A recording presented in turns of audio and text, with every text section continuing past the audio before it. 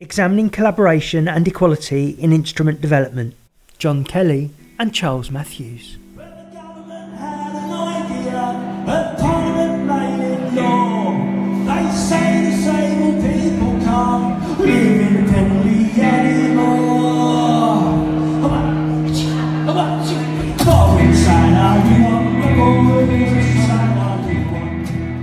The aim of this film is to reflect on our journey and learning from the development of the Kellycaster.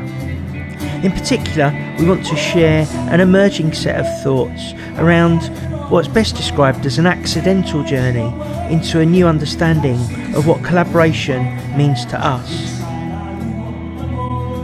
The guitar was created in a time and a context. For me, this is very much about the need for social change and equality. Very much influenced by Woody Guthrie's notion of a living song as opposed to a dying song. Something that makes you take pride in yourself and your work and gives you the confidence to protest about the things that need protesting about. From what I remember of the early underpinning principles, it needs to be reliable and robust to touring professionally. It needed to look and feel good. I wanted to fall in love with it like anybody falls in love with their instrument. It needed to be practiced, something more than an accessible object that plays without emotion. I met John attending my first Drake Music Hackneys, where he presented a design for a guitar that he'd wanted to realise for many years.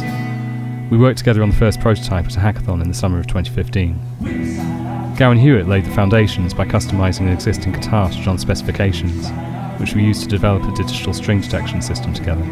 John played the first song on it the next day, this led to a sustained collaboration through Drake Music's research and development program, now called DM Lab. Gawain took on the management of the project, working tirelessly to bring the many elements together to keep us on track and to make the physical body of the guitar a reality. Drake Music were instrumental in securing funding through a range of sources, including the Paul Hamlyn Foundation and the Calouste Gulbenkian Foundation, in collaboration with Walled City and Inclusive Creativity.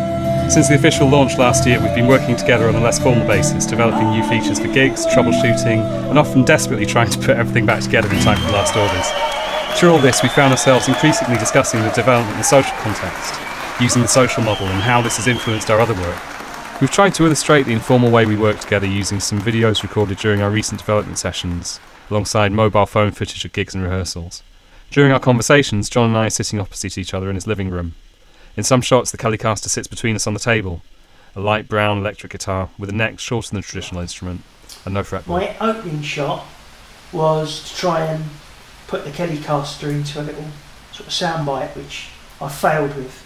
But essentially, the, the Kellycaster has become something more than just a physical, clever guitar that uses groundbreaking music technology to make guitar playing accessible to me and maybe others too as well as the emotion of the art and the emotion of the expression of a song, I, feel that one of the things that in collaboration is about the relationship you build, the connection you build with someone, which is an emotion, it's an emotional connection.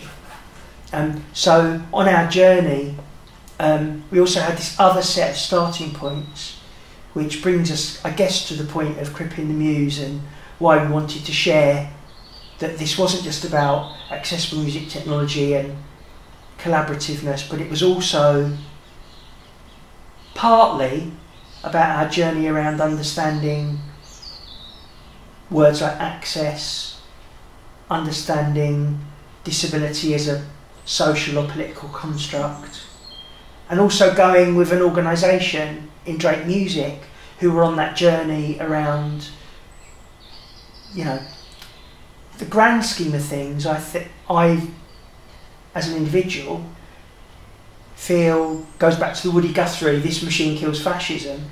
You know, the guitar wasn't a bullet. What he was saying was his songs are a set of powerful tools with which, hopefully, to bring about change. Here, John is sitting at his computer in his home studio, strumming the Kellycaster. Oh, I know what else. Then. It's transposed, isn't it? The screen shows Ableton Live, a commercial piece of audio software, which he's controlling with the custom Kellycaster program.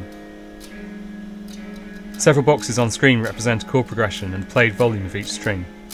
Having linked a selection of blues chords to notes on a small piano-style keyboard, John moves between them in real time by pressing the keys just before he strums. The volume of each string is measured to produce a new set of digital guitar notes according to these chords. In a way, getting the guitar working was the easy bit. But just as John's vision was of something that he'd need to work hard to practice and perfect, we found ourselves making the development process harder for ourselves and avoiding quick fixes, prioritising the integrity and the authenticity of the instrument. In this next clip, we talk about the dialogue in that process. That wasn't something that happened quickly. It was something that emerged over getting to know each other. Um, and was about starting to be able to say the things that were more challenging and difficult to say. To be able to say, actually, the way you're doing it isn't the way I want it to happen, or actually, that isn't quite doing, you know. And I guess you, you know, I know that I was always making mistakes. I was always saying to you, like, you know, uh, this isn't quite right, and then you go, oh no, but we've done this like that, and I, oh yeah, that's that's right. You know, so there's something about our humanity in terms of being able to say what's challenging and make mistakes, and sort of in dialogue be able to say that. Finding the boundaries, Yeah. in, in, in some ways, but um, there's comfort, it's a shared understanding of what Yeah. the project is, what it isn't, Yeah, um, and I think that that kind of comes through the other conversations that we have around it as well. So it's not just focusing on the guitar all the time, and like anything else, like if you're sitting down in the studio to play with somebody, the first, first thing you're going to do is often have a cup of tea. just I was thinking. Yeah, That's really but good. That's actually conversations are often just as important as practicing and. Collaboration happens on many different levels. We had the support of an organisation to give us structure and focus through Drake Music. We had a project manager, Gawain, who was able to navigate us through the journey. We also had John Dickinson, who made the guitar, friends and colleagues who were musicians who could give us advice. The collaboration for us was often in a state of flux.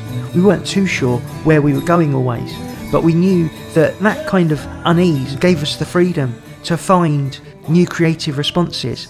coming from it from a more from a technology oriented angle at first. Um, if I just brought this to you and said, "Oh, well, you wanted it to do this, so here it is," and you're going to have to learn how to play it now, that would not be that would not be authentic. I don't think. No. Um, I, I think that's something about how we view accessibility in a, a much more fundamental way than it just being like a bolt on or it just being a feature that replicates something that can be done in a different way, if that makes sense. You know, like uh, this button replicates two fingers doing that, or this, you know, I, for me, I think something that I've I started to understand it before the guitar, but understand it a lot better now. Is the that that accessibility is part of the dynamic of it. It's part of. I know I've said the word a lot recently, but the aesthetic. You know, it's all part and part of sort of the design, which makes it authentic. That gives it its distinct sound.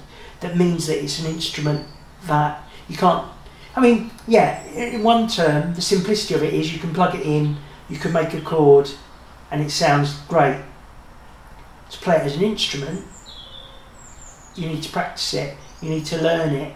You need, perhaps, you could argue, uh, a level of creativity to say, how am I going to push it further than it just being a chord into a song or into whatever it is that you know you're, you're, you're doing with the guitar.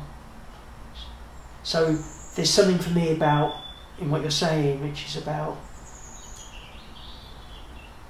a different kind of notion of accessibility. That it isn't it isn't just a simple case of it's a function to enable someone to do something the same in a different way.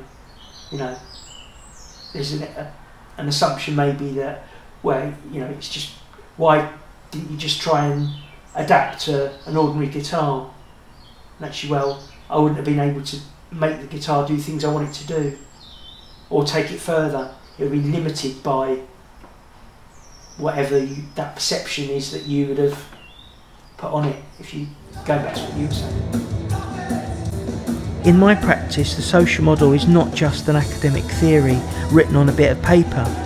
It's a living, breathing theory which informs my everyday being. It's a theory in use, not an espoused theory. Accessibility is much more than a bolt on or a different way to carry out a similar action or function. It brings a unique dynamic and aesthetic that creates its own distinct style, signature, sound. It makes my art mine. As an artist, um, I do identify as a disabled person and I do sing about uh, disability issues and disability equality and our struggle for rights and equality. But that doesn't define the whole of my expression or the whole of my work, if you, if you see what I mean. And I think sometimes, because our emphasis has been trying to articulate what it is about access and disability, that, that people see, well, that's a very niche thing, that we're, we're just talking about disability. And I don't think we are, I think we're talking about a whole movement around opening technology up, free sourcing, breaking things, hacking things. There's so many other movements and so many things around equality that we're talking about, which, yes, are about disability, but they're also about so many other aspects of both our lives that we care passionately about.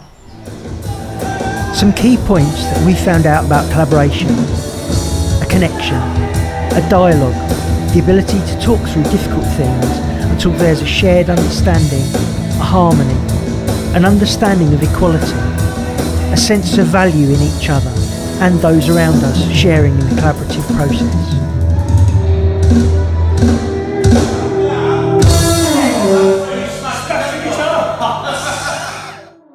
With thanks to Drake Music and our friends, colleagues, and funders.